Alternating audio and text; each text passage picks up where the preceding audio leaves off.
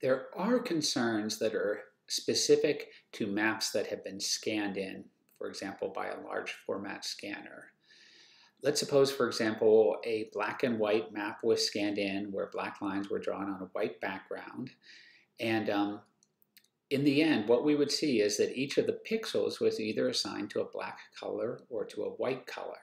In the example on the left, we can see that um, sometimes the line can be as many as three pixels, or in some cases, depending on what direction the line is going, um, sometimes even wider than three pixels.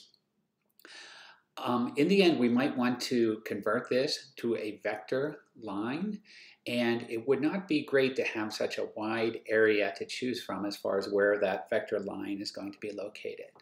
So what we can do um, before we convert from this raster data set into a vector data set is that we can um, go through a process called thinning.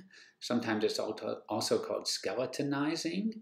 And in this case here, what we're going to end up with is a raster line that is one pixel wide in, uh, in or one pixel wide or high in every case.